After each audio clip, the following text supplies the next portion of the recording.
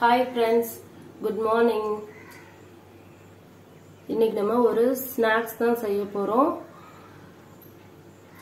என்ன ஸ்நாக்ஸ்னா இன்னைக்கு கடலைப்பருப்பு வச்சு ஒரு லட்டு செய்ய போகிறோம் அதுக்கு தேவையான பொருட்களை பார்த்துக்கலாம். மூணு மணி நேரம் ஊற வச்ச கடலைப்பருப்பு இந்த டம்ளர் வச்சு ஒரு டம்ளர் எடுத்திருக்கேன். அதே டம்ளருக்கு ஒரு டம்ளர் சர்க்கரை எடுத்திருக்கேன். உங்களுக்கு சுகர் கொஞ்சம் கூட போட்டுக்கணும்னா கூட கொஞ்சம் சேர்த்துக்கோங்க. உங்கள் இனிப்பு சுவைக்கு ஏற்ற அளவு. நெய் எடுத்திருக்கேன். இது ஹோம்மேட் நெய் தான். என்ன இந்த கலரில் இருக்குன்னு நினைக்காதீங்க. தேவையான அளவு கிஸ்மிஸ் எடுத்திருக்கேன். தேவையான அளவு முந்திரி ஏலக்காய் ஒரு பத்து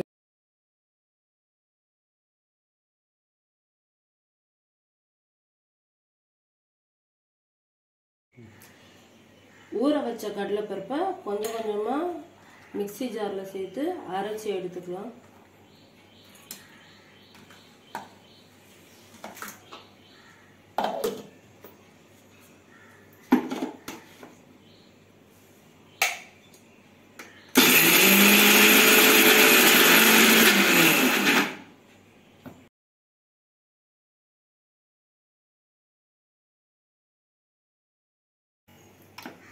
இப்போ நம்ம இந்த பதத்துக்கு அரைச்சி எடுத்துக்கிறலாம் ரொம்ப நைஸாகவும் இருக்கக்கூடாது ரொம்ப குறை குறைன்னு இருக்கக்கூடாது. இந்த பதத்துக்கு அரைச்சி எடுத்துக்கலாம்.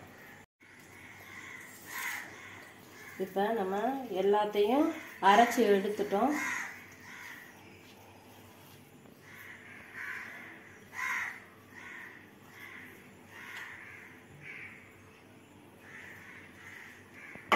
அரைச்சி எடுத்த எல்லாத்தையும் நல்லா கலந்துட்டு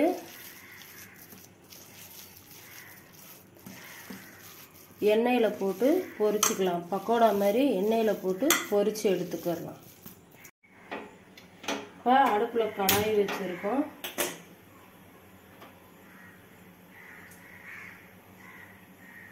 கடாய் சூடாயிருச்சு. தேவையான அளவு எண்ணெய் ஊற்றிக்கலாம் பொரிச்சு எடுக்கிறது.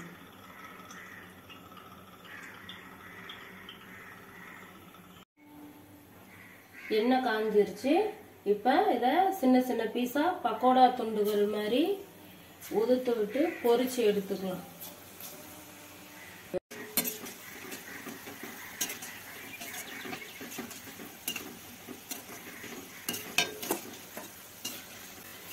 கருகிடக்கூடாது. இந்த பதத்தில் வந்தவுடனே நம்ம எடுத்துடலாம்.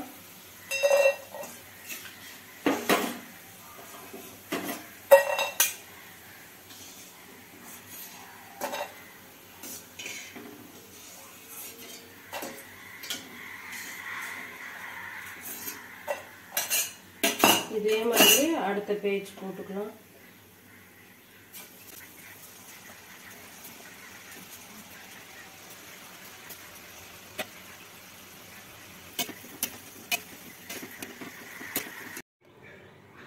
இப்போ பக்கோடா எல்லாத்தையும் பொரித்து எடுத்துக்கிட்டோம். இதை ஆற விட்டு மிக்சி ஜாரில் அடித்து எடுத்துக்கலாம்.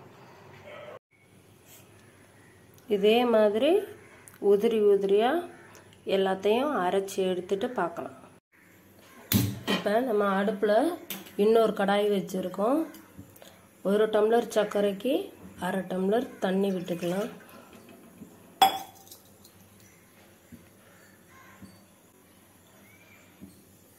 சர்க்கரை சேர்த்துக்கலாம்.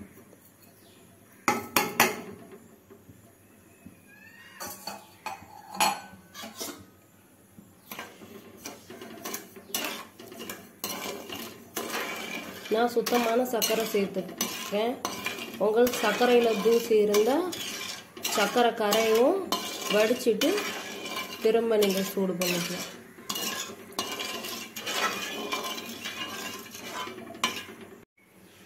இது கூடயே நான் டேஸ்ட்டுக்காக கொஞ்சமாக உப்பு சேர்த்துக்கிறேன்.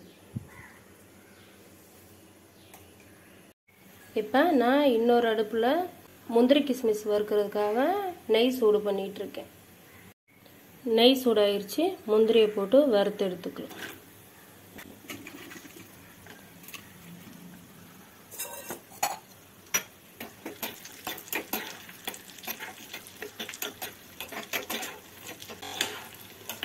அந்த பக்கம் பாகு நல்லா கொதிக்குது.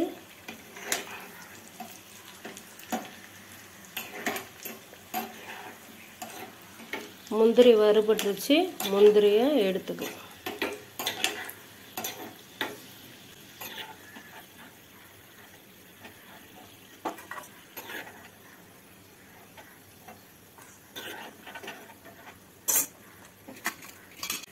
அடுத்து கிஸ்மிஸ் போட்டு வறுத்துக்கலாம்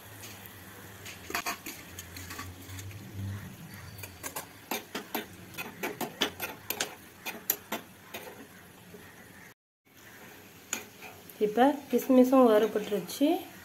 ஸ்டவ் ஆஃப் பண்ணிவிட்டு எடுத்துக்கலாம்.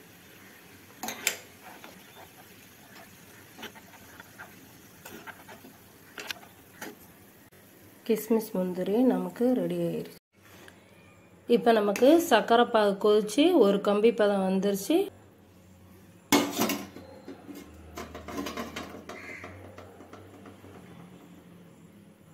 இப்படி ஒட்டணும் இந்த பாருங்கள்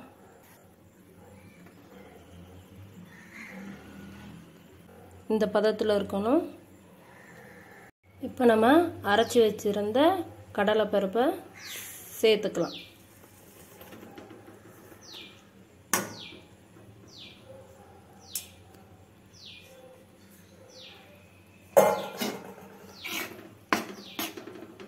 சேர்த்துட்டு நல்லா கிளறிக்கலாம் இது மாதிரி.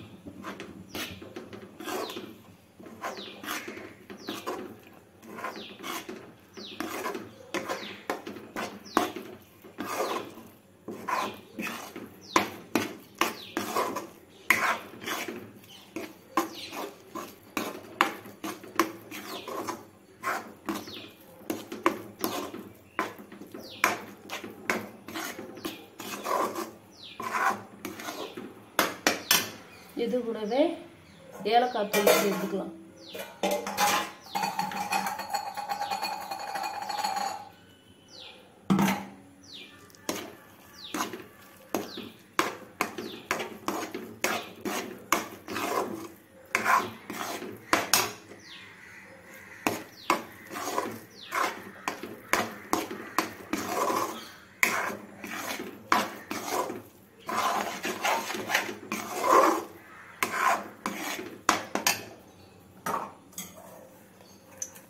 முந்திரி கிஸ்மிஸ் சேர்த்துக்கலாம்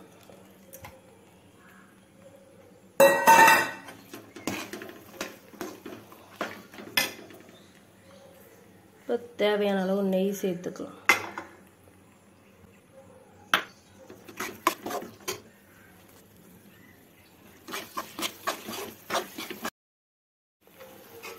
இப்போ இது எல்லாத்தையும் நல்லா ஒன்றா சேர்த்து கிளறுது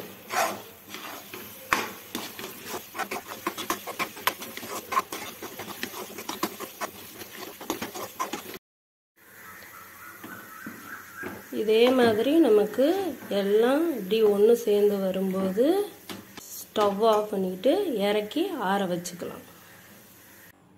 வெது வெதுப்பான சூடில் இருக்குது இந்த ஸ்டேஜில் நம்ம லட்டு பிடிச்சிக்கலாம். நமக்கு தேவையான சைஸில் பிடிச்சிக்கலாம். பெரிய உருண்டையாக வேணாலும் பெருசாக பிடிச்சிக்கலாம். சின்ன சின்ன உருண்டைகளாக வேணாலும் சின்ன சின்னதாக பிடிச்சிக்கலாம்.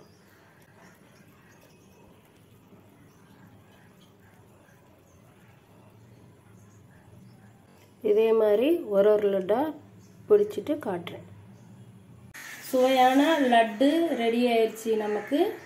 இதே மாதிரி நீங்களும் லட்டு செஞ்சு பார்த்துட்டு என்னோட கீதாஸ் கிச்சன் சேனலுக்கு லைக் பண்ணுங்கள் ஷேர் பண்ணுங்கள் சப்ஸ்கிரைப் பண்ணுங்கள் பாய் ஃப்ரெண்ட்ஸ் உங்களை அடுத்த வீடியோவில் சந்திக்கிறேன்.